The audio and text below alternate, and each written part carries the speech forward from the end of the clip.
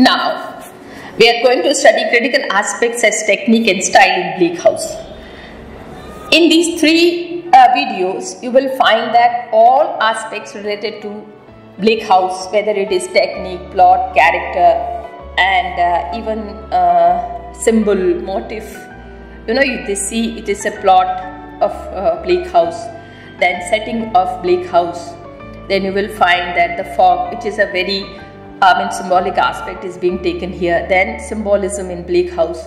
All these simple and uh, then we will discuss the major characters, Lady Dedlock, then Esther Summerson, then uh, jo John Dias and uh, Mr. Tulkinghorn. So my concern would be, uh, I'll just try to do what I'll do. Uh, these characters I will take separately. But first of all, let's come to the symbolism, plot, character, and all these uh, uh, you know significant things related to Bleak House. So let me come to this aspect which we uh, were starting technique and style okay in Bleak House. Uh, Bleak House was written about a century century and a half ago. Prose style like almost everything else has changed Naturally, today the readers may find Dickens' manner rather unfamiliar and in some ways in a bit difficult. In order to see Bleak House in the right perspective, it is necessary to pursue this point. Many people today are no longer well practiced readers. Like reading is missing right now uh, in our generation. Reading is missing. Television and films are preferred pastime and what people do read is more likely to be journalism or captions under pictures. Then the prose of the literary uh, artists like Dickens. Dickens wrote for an audience that loved to read and was unafraid to tackle a work of serious literature such as uh, receptive and well prepared and or at least cooperative audience freed Dickens to pitch his writing at a level and satisfied his artistic conscience. Bleak House was written about a century and a half ago. This is again a point is repeated here. In other words, Dickens was not forced to use only a very limited vocabulary or uh, to forego sub, uh, subtleties of the tone or emphasis, nor did he feel obliged to keep all his uh, sentences short and simply constructed when emotions or the complexity of an idea carried out for longer or more complicated ones. He also knew that his reader were uh, responsive to uh, playfulness in words and hence would not insist that he keep, he keep coming bluntly to the point uh, and get on with things and uh, so he was free to play one of his favorite roles, the uh, entertainer. Uh, here, a verbal entertainer, as elsewhere, a mimic or theatrical entertainer. Dickens was an active public reader, actor, and practical joker as well as an author. In Bleak House, Dickens turns a classical allusion turns a classical allusion into a joke, but only because his readers far more liter literature than today's reader the literate than today's reader would recognize the illusion and therefore apprentice the twist. When we read Dickens or many 19th century writers, we need to remember uh, this uh, fortunate, this fortune, productive relationship between the author and the reading public. Despite their strong streak of uh, Puritanism and the limitation inherent in their middle class outlook, Dickens readers far from demanding that the author uh, that the author write down to their level were generally eager to have a book uh, that helped them to a higher level. They, wa- they wanted guidance on the issue of the time and they uh, also wanted to progress personally to become more knowledgeable about sundry matters and more skilled in language. 19th century society considered skill in writing and reading necessary for anyone who aspired to be genteel or even civilized. In a great many households and throughout the educational system, the promotion of these skills had the power of moral force. In short, a writer in Dickens' era had great respect for his audience and strong rapport with it, an exciting situation to be in. Even in casual conversation, the characters in Bleak House, except for those or at near the very bottom of the social ladder, like Jo, speak rather uh, elaborately. Their grammar, unless Dickens is making fun of some idiosyncrasies of expression, is flawless. They command a sophisticated vocabulary and tend to favor the formal word or phrases. Their sentences can become quite involved without becoming unclear. It may be hard for us to believe that people ever really spoke that way, but they did Correctness in language as in matter was a central concern for the typical middle class person.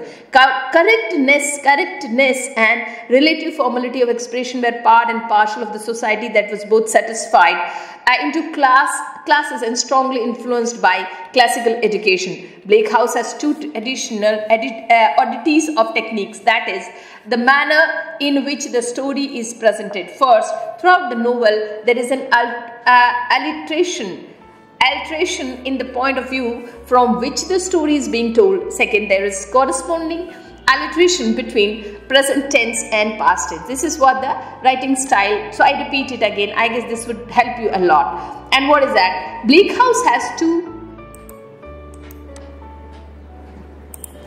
Bleak House has two uh, oddities of technique that is the manner in which the story is presented. First throughout the novel there is an alliteration in the point of view from which the story is being told. Second there is corresponding alliteration between present tense and past tense. Sustained use of present tense narration is so unusual that we read we, we hardly know what to expect from moment to moment. Thus there is a sort of suspense in the method itself well in the plot and forces us to be enjoyable alert and we have already had to become quite alert in order to catch Dickens' persistent, persistent verbal irony. That is, is saying one thing and actually meaning something else. That combination of continual irony and present tense narration gives the writing great intensity. By far, the large part of the story is narrated in this way by the omniscient author. But surprisingly, Dickens switches every now and then to Esther's narrative, allowing Esther Summerson to do some for the telling. This alliteration strikes many people as an awkward and highly artificial technique because the reader remain aware that Eastern narrative is still really Dickens' narrative. In other words, the alliteration causes the point of view to call alliteration to itself for no good reason. The simultaneous change from present to past tense makes the awkwardness all more conspicuous. On the other hand, even if they come at a price, Esther's narrative are a well uh, welcome relief present tense narration and is and uh, noted above vivid and intense. It is the closest it is the closest that fiction can get to intensity of drama where action is unfolded in present and one as one watches. But for this very reason a relief is indeed in an immensely long work like bleak house. Intensity can become fatiguing. With the switch to the lower which the uh, switch to the lower intensity of past tense comes an equally a welcome change of the tone. Dickens' omniscient author narration is almost consistently mocking and satiric in tone. It is a brilliant achievement, but it is still basically monochrome, monochromatic or one tone. Each the narrative provide the contrast. Her outlook is as fresh and innocent as Dickens is, is severely jaded and she has a many tone as she has responses. Within the omniscient author portion of the book, Dickens makes his presentation as entertaining as possible, going out of his way to create variety and liveliness. He keeps us awake, awake and amused by varying his tempo and lend the structure of his sentences. He uses racy colloquialism, creates original figures of speech, forceful repetitions and parallel constructions as staccato like fragment and other attentions getting techniques, critical aspects as plot of Bleak House, which is very significant. Please focus on that plot of Bleak House. Dickens' taste in a plot seems to have been influenced by 18th century novelist Henry Fielding, Joseph Andrews, 1742, Tom Jones, 1749, than by anywhere, anyone else in any event that typical Dickens plot like the plot of Fielding is complicated, loosely constructed and highly dramatic in incidents that make, make it up. The main plot is usually interwoven with a number a number of subplot that involves numerous incidents and cover a period of several or many years. Such multiplicity multi uh, militates against the possibility of feeling the story a unity distinctly. That is of holding all the incidents in our mind at once and fielding their account connectedness plot loosens loose of loose, loose, looseness of construction can mean various things. Some of the subplots may not be related to the main plot. One or more of the subplot may be more highly developed or inherently more interesting than the main plot. Creaky devices of highly improbable coincidences may be brought into uh, get the author out of jam created by lack of advanced planning or the main plot itself may consist of several self-contained episodes rather than that of central developing unified action. The main plot of Bleak House, the story of the Lady Dedlock's past unfolding in the present and developing into a new situation that involves the books rather than heroine.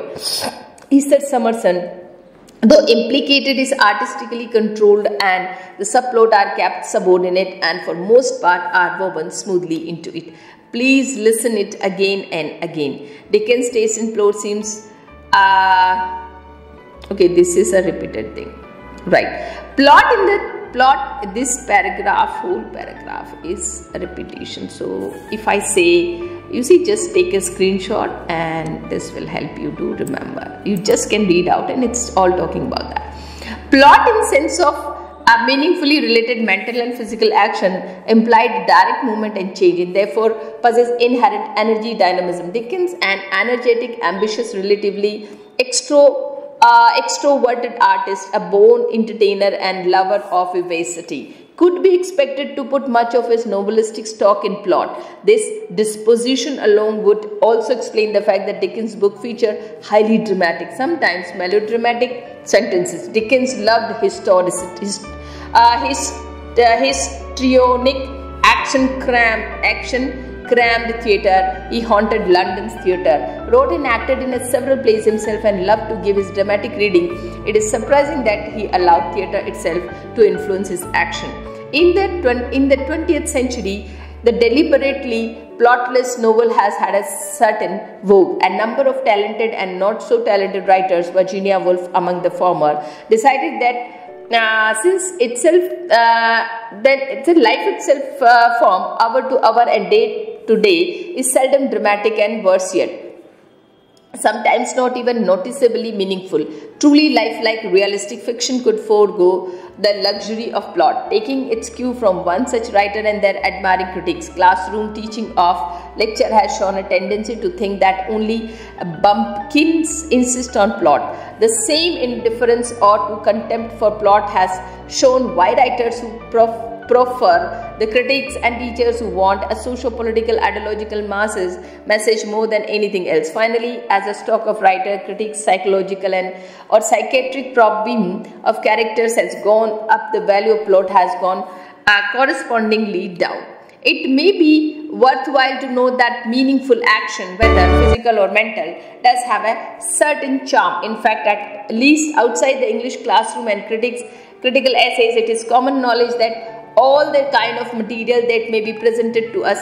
Meaningful action is the kind uh, most likely to hold our interest and generate excitement. Whatever literary critic in, uh, in the know may claim, the fact is that the human species has an insatiable th uh, thrift thirst for direct, directed action, whether physical or as Wimbledon or mental as in uh, Il, Il it is also a fact that virtually all of the stories and plays that have come to be regarded as classic for the Iliad to come, Kim, I have full of plot. The setting of Bleak House, critical aspect as setting of Bleak House. Most of most of the most of the action of Bleak House takes place in or near London around 1850. The London street scenes are in a Holborn district or the north bank of the Thames and very close to the river. The deceptions, uh, depictions of neighborhood, street building, working conditions, lighting, uh, lighting, weather, dress and depart, uh, de deportment of persons, etc. are completely authentic. The fog remains the most famous fog in all literature, dense, long-lasting blanket of it, yellowish or yellow-brown with pollutants were common in coal burning London of Dickens' time, and later the description of the going on at uh, Chancery Court are equally authentic, although Dickens provide only those details that support his, uh, his point. The Dedlock, the Dedlock's country estate as Chesney Wold is about 150 miles from London, is Lincolnshire, a large agricultural county in east central England. St. Albans, where uh, John Jarndyce Bleak House stands, is a small town. In 1850, it would have been uh, about 20 miles from the northern outskirts of London. Esther Summerson was born as Windsor, site of Windsor Place, about 20 miles straight west of London. 15 miles further west in much larger city of the reading pronounced reading where Esther went to school. Richard Carstone attended, attended school at uh, Winchester, famous for its uh, huge ancient cathedral, some 50 miles from uh, south of Reading and close to the English Channel. The new bleak house that Mr. Jarndyce builds for uh, Esther and Allan Woodcourt is in Yorkshire, England's last largest country north of Lincolnshire. This new house would be 175 to 200 miles northeast of London. There are several rural scenes as Dickens enjoyed England's green and pleasant land, yet countryside fails, fails to kindle his imagination the way the city does. Uh, hating city smoke as much as anyone, Dickens nevertheless lapses into control, uh, conventionality whether he breathes the country air. When he breathes the country air, critical aspect of uh, uh, of the novel, The Fog. No, no, the, the Fog. The a literary work, a literary work does not necessarily become depressing or morbid simply because some of its uh, subjects are gloomy, painful, or even grisly. Shakespeare, Macbeth gives us scenes after scenes uh, of dark atmosphere, crime, natural and supernatural evil, horror and insanity. Yet play has remained immensely popular for four centuries. Everything depends uh, everything depends not on subject itself on the writer's treatment of it meaning technique manner of the presentation presenting the story and prose style choices in word phrase and sentences Henry, uh, heavy persistent fog is not something that tends to lift uh, spirits and brighten faces. In a story such as Fog may even serve as a symbol of institutional operation and human confusion and mystery. Now remember this point that, uh, you know, in a story, uh, up to here, please uh, read it again. In a story such as Fog may even serve as a symbol of institutional oppression and human confusion uh, and mystery, misery. The fog that Dickens created for Bleak House serves him exactly that way and yet it is not, after all, a real life fog, but a verbal description of the real life thing. How uh, that depiction is managed, in other words, expression becomes the crucial point, the real issues. If by plunging as again and again into the London fog, Dickens is trying to depress mm, us, he is on a shaky ground. All of us tend to seek pleasure and avoid pain. If the, if the writing taken up with an open mind and given a fair trial really depressed us, we are quite likely to stop reading and declare Dickens as impossible, unreadable author. But if we examine our actual response to the densely fog and otherwise implicable November weather uh, Dickens describes, we find we will find it to be something different from sheet depression or uh, innervation. Our response, the one Dickens want us to have, is probably complex and ambivalent. True, Dickens sees the foggy mirror of the London street as a uh, nuisance, the unpleasantness and source of vexation and uh,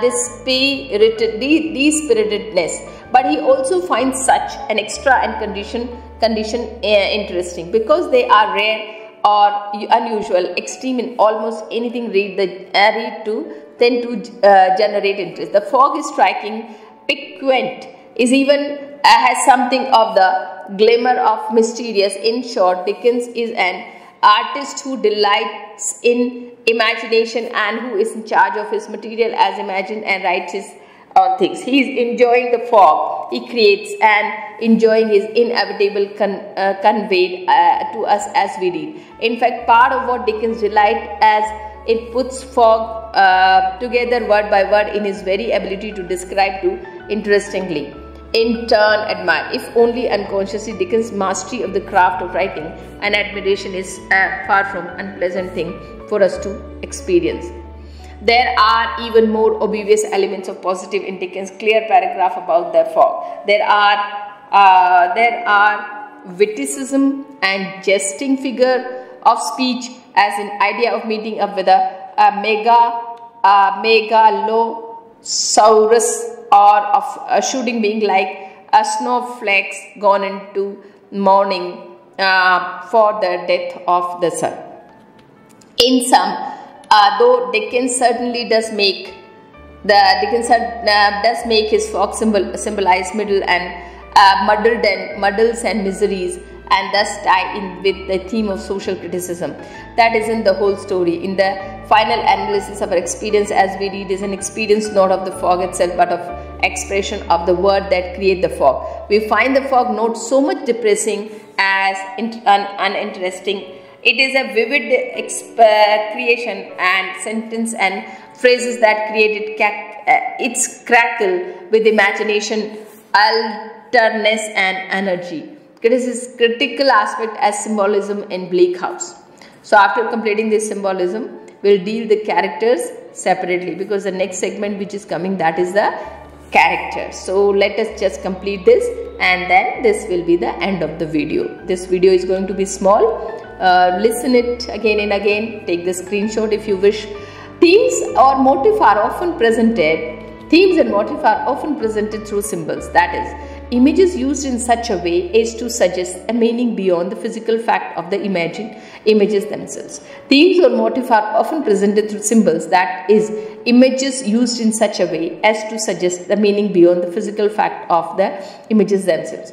Two quite effective symbols in Bleak House are the fog and uh, the Roman, uh, who point down from Mr. Tulkinghorn ceiling and symbolizes the theme of retribution of evil ultimately bringing ruin upon itself.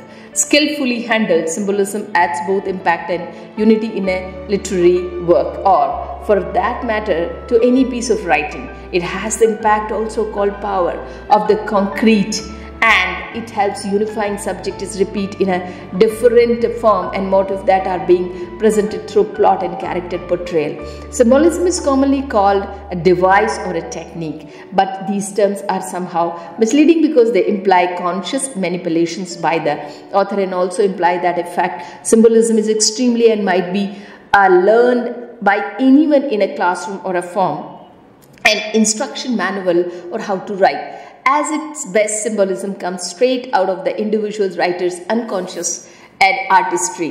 It is, it is instinctive and individual and often a mark of genius. Symbols are often used to uh, foreshadow later events in a story. In turn, the technique of foreshadowing lends unity to the story because it prepares us dealing with things that will be developed, developed later on. The bleak house fog.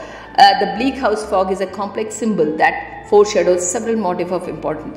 Richard Carstone, for example, gradually becomes lost and able to see in the mental and spiritual fog generated by the High Court of Chancery. So here we end it and uh, thank you so much for giving your precious time.